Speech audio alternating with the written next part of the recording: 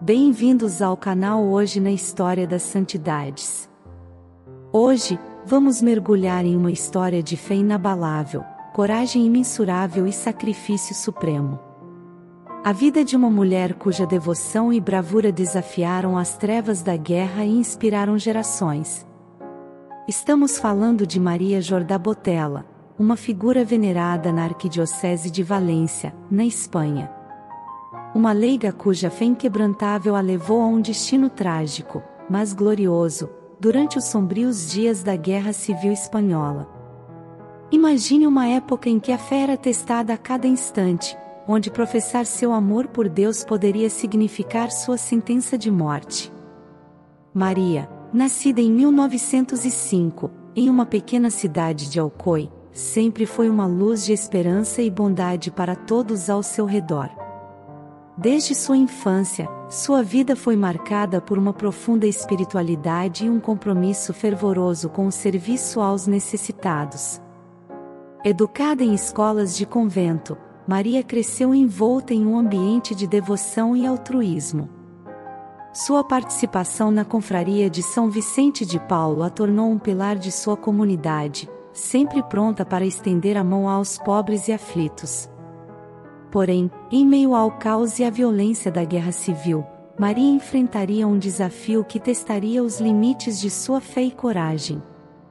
Presos em um período de turbulência política e social, muitos cristãos na Espanha foram perseguidos por sua fé. Entre eles, Maria Jordá Botella se destacou por sua resistência inquebrantável contra a opressão anticristã. Durante sua prisão, Maria demonstrou uma coragem impressionante, defendendo sua dignidade e fé com uma força que só poderia vir de uma convicção profunda e inabalável. Neste episódio, você conhecerá os detalhes de sua vida extraordinária e seu martírio.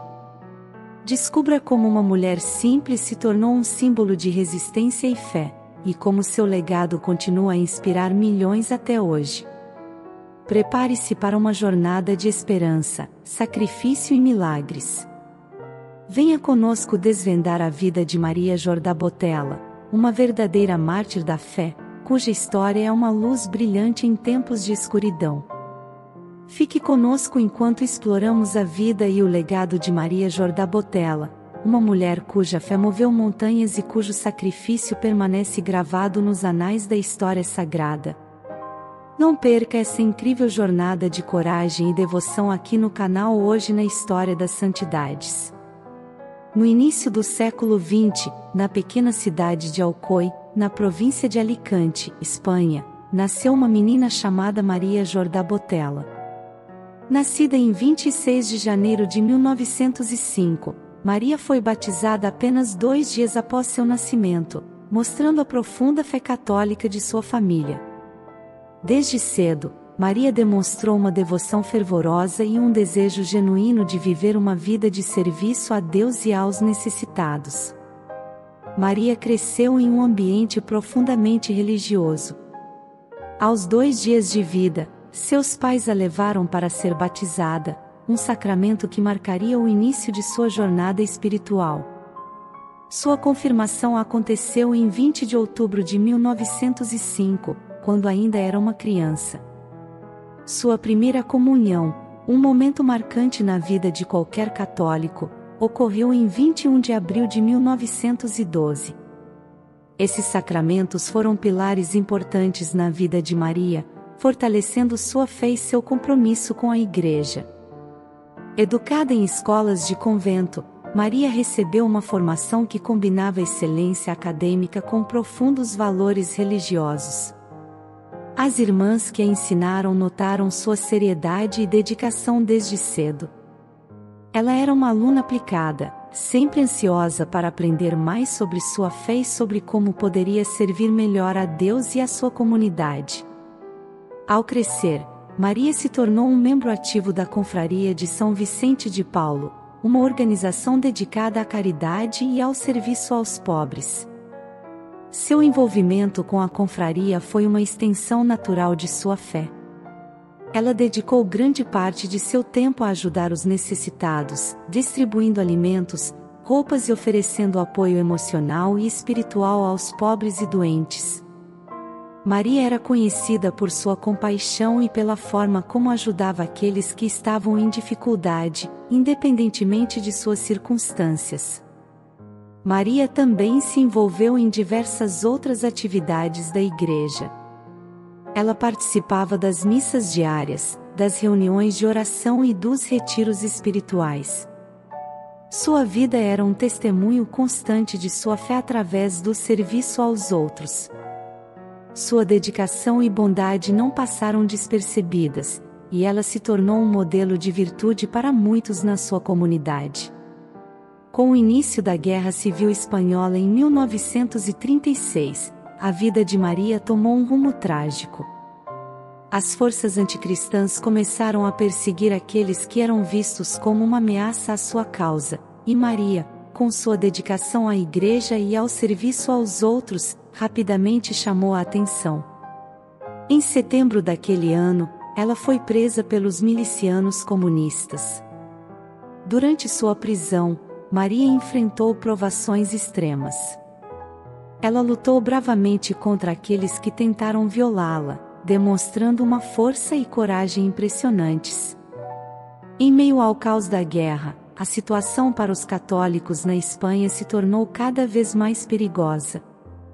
As igrejas foram incendiadas, os sacerdotes e religiosos foram perseguidos, e muitos leigos, como Maria, foram alvo de violência e opressão. Apesar disso, Maria manteve sua fé inabalável. Ela continuou a rezar e a encorajar os outros prisioneiros a manterem a esperança.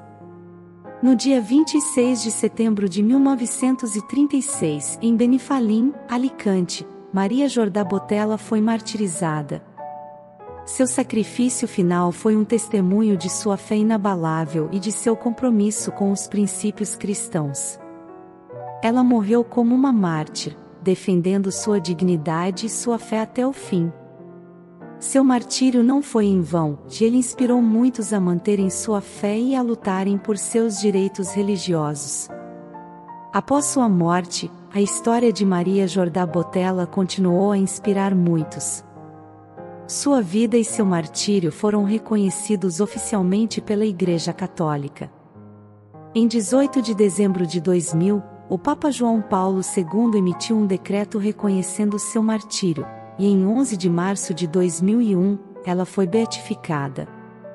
A beatificação é um reconhecimento oficial de que Maria viveu uma vida de virtude heroica e é digna de veneração pública.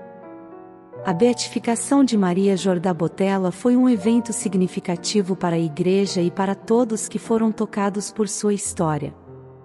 Durante a cerimônia, o Papa João Paulo II destacou sua coragem e seu compromisso com a fé, chamando-a de um exemplo para todos os cristãos. Desde então, Muitos fiéis têm procurado sua intercessão, e seu túmulo se tornou um local de peregrinação. A vida de Maria Jordá Botella é marcada por episódios de fé e coragem. Embora não existam registros específicos de milagres atribuídos diretamente a ela antes de sua beatificação, sua vida e morte em si são vistas como um testemunho milagroso de fé. A sua resistência diante da adversidade e a sua disposição para sacrificar a própria vida em defesa da sua fé são considerados milagres morais e espirituais que continuam a inspirar os fiéis até hoje. A história de Maria Jordá Botella nos lembra da importância da fé e do serviço aos outros. Sua vida, dedicada ao trabalho social e à caridade, e sua morte, enfrentada com coragem e dignidade, são exemplos poderosos de como podemos viver nossa fé de maneira autêntica e inspiradora. Que possamos aprender com seu exemplo e aplicar seus ensinamentos em nossas vidas diárias, servindo aos outros com amor e vivendo nossa fé com coragem e dedicação. Que a vida de Maria Jordá Botella continue a inspirar e a guiar todos nós em nosso caminho espiritual. A história de Maria Jordá Botella é um lembrete poderoso de que a fé e a coragem podem brilhar até nos momentos mais sombrios. seu legado de serviço e sacrifício continua a inspirar e a guiar muitos em sua jornada espiritual. Oração a Beata Maria Jordabotella. Querida Beata Maria Jordabotella, exemplo de fé e coragem, nós te pedimos que intercedas por nós junto a Deus. Ajuda-nos a enfrentar as adversidades com a mesma bravura e dedicação que demonstraste em tua vida que possamos servir aos necessitados com compaixão e amor, seguindo teu exemplo. Dá-nos a força para defender nossa fé com dignidade e coragem, mesmo diante das maiores provações. Amém. E assim, chegamos ao fim de mais uma história inspiradora no nosso canal Hoje na História das Santidades. A vida de Maria Jordá Botella é um testemunho poderoso de fé e coragem. Desde sua infância devota em Alcoy até seu martírio durante a Guerra Civil Espanhola, Maria nos mostra que a verdadeira fé é inquebrantável, mesmo diante das mais terríveis adversidades.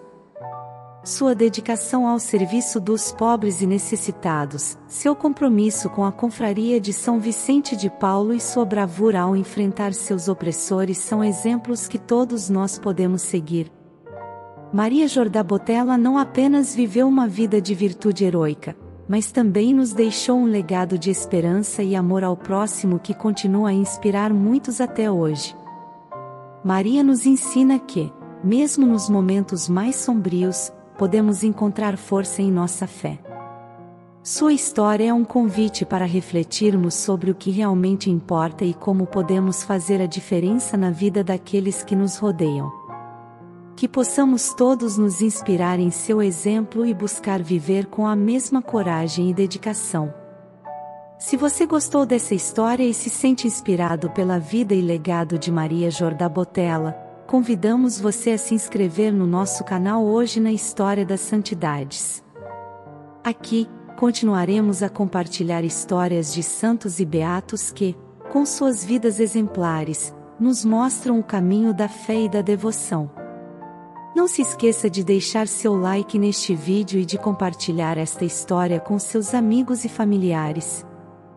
Sua participação é muito importante para nós e nos ajuda a levar essas histórias inspiradoras a ainda mais pessoas.